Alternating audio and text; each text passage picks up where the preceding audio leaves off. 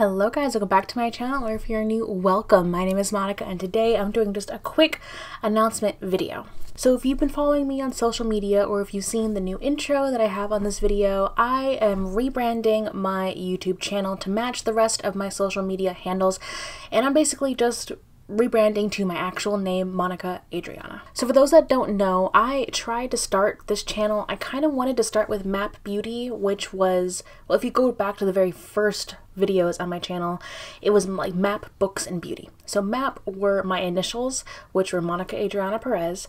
Um, and I wanted books and beauty because I love books and I love makeup. Eventually, I cut out the books almost entirely. I mean, I still do like bookshelf tours. I got a couple of videos like that. But is the way that I thought about it being like half booktube, half makeup, I just cut that out and I just stuck to makeup because I love makeup and I work in publishing, so doing that full time in my hobby just it was wasn't there. so I changed it to just be Map Beauty.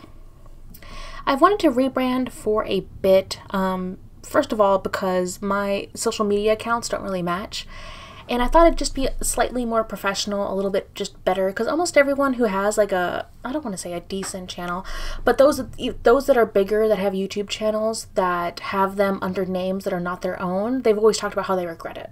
So I thought, you know, why not just rebrand now um, under my actual name and then just continue forward that way. And then that way it matches my Instagram handle and matches my Twitter handle and it matches my actual name.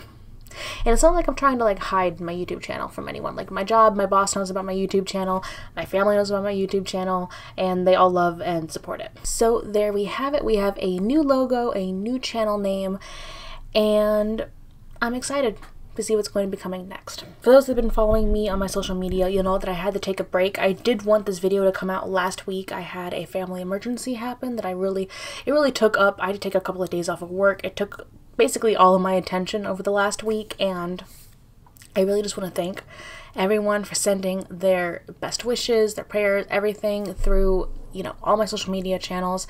I've read every message and I'm working on answering every comment, but it's going to take me a few days to get to all of them, but I just want you to know that I appreciate all of them and they helped. They they really did. So thank you.